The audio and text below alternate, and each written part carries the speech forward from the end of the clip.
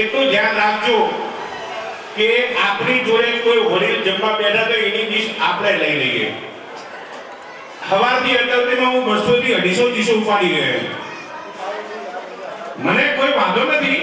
તમે જે એથી ડીશ મૂકો છો ને, એનું પાપ તમને લાગે, એનું પુણ્ય મને મળે. હું તો પુણ્ય મને મળશે, મને કોઈ વાંધો નથી. પણ તમે પાપ કરો છો ધ્યાન રાખજો. મહેરબાની કરીને ગઈકાલે કાર્યક્રમમાં થોડી વાત કરવી હતી, પણ મેળ નતો આવ્યો. થોડું કામની હતી એટલે. એ આ ત્રણ જણનો પરિવાર, નાનકડો પરિવાર. પરમાત્માને કઈ મંજી નહીં હોય દુનિયા છોડીને જતી રહી, બાપને દીકરી, બાપ એકલા રહી ગયા. સાત વર્ષની દીકરી ઘર સંભાળે અને બાપ કમાઈને લાવે અને દીકરી બાપનું અને બે જણનું ઘર ચલાવે. દીકરી બહુ સમજદાર બાપ. એનો બાપ જે કમાઈને લાવે ને પછી જેમ થોડા થોડા પૈસા વધે ને, એટલે ત્રણ ચાર તારા થાય ને, એટલે સોની નોટ ભેગી કરી, અને જેમ કે બેટા તું સોની નોટ સાચવજે, તારા પીડા હાથ કરવો પડશે તારે મારે કામ આવશે. તારા લગ્ન સમય મારે કામ આવશે. ઘર તો એક નાનકડો રૂમ હતો, દીકરી રૂપિયા ક્યાં સાચવે? પણ ભગવાનનો જે પૂજાનો રૂમ જે પૂજાનો જે ઓડિયો હતો ને બોકલો એની જોડે એક રામાયણ પડી હતી.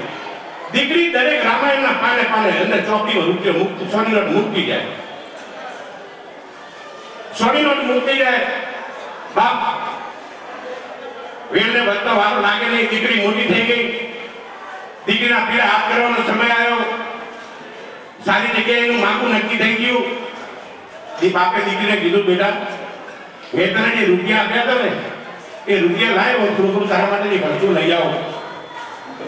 એ દીકરીએ કીધું કે બરોબર લાવું. એમ કરીને દીકરી રામાયણ લઈ આવી. અને રામાયણના પાને પાનેથી એ રૂપિયાની નોટો, ગાડી ગાડીના બાપને આપી દીધી ત્યારે એ દીકરીએ કહ્યું, માં, આવી બેટા રૂપિયા રખાય, આવી રીતે રામાયણની રૂપિયા રખાય, ખૂબ ચોર આવે તો ચોરી કરી જાય તો મારા દીકરા આપણે શું કરીએ એમ? અને હવે દીકરીનો જે જવાબ છે બાપ સાંભળવા જેવો જે હો. જો ગમે, તો જોશી દાદાની જે બોલજો. અને ના ગમે, તો કઈ વાંધો નહીં. એ દીકરીએ એ જવાબ આપ્યો બાપ કે જો બાપા, ચોર ચોરી કરવા આવ્યો હોય અને જો રામાયણ ને અડે ને તો એને ચોરી જરૂર જ ના પડે.